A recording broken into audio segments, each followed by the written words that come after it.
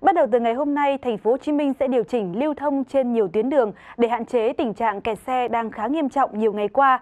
Việc điều chỉnh lưu thông sẽ được thực hiện tại một số giao lộ là điểm nóng về kẹt xe thời gian vừa qua. Cụ thể là từ 9 giờ sáng nay thì cấm tất cả xe rẽ trái từ Nguyễn Văn Linh vào Nguyễn Hữu Thọ, cả hai chiều lưu thông để hạn chế ùn tắc tại giao lộ này. Từ 9 giờ ngày 26 tháng 9, cấm ô tô rẽ trái từ Huỳnh Tấn Phát vào Lưu Trọng Lư hướng Trần Xuân Soạn đến Lưu Trọng Lư, cấm ô tô rẽ trái từ Lưu Trọng Lư vào Huỳnh Tấn Phát, quận 7.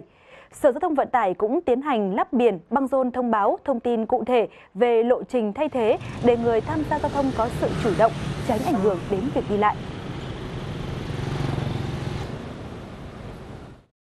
Những ngày vừa rồi thì mưa ngập và tắc đường là hai điều mà khiến cho người dân thành phố Hồ Chí Minh phải đau đầu và nhức, đau đầu nhất.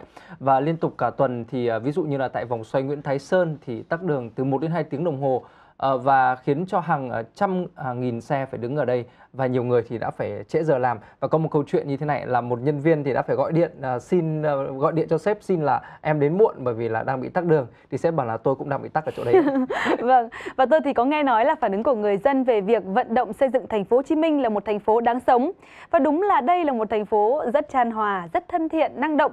Nhưng mà có sống ở tại thành phố Hồ Chí Minh thì mới hiểu tâm tư của người dân rằng bao giờ hết ngập nước, bao giờ hết kẹt xe thì mới có thể nghĩ đến chuyện thành phố này đáng sống hay là không.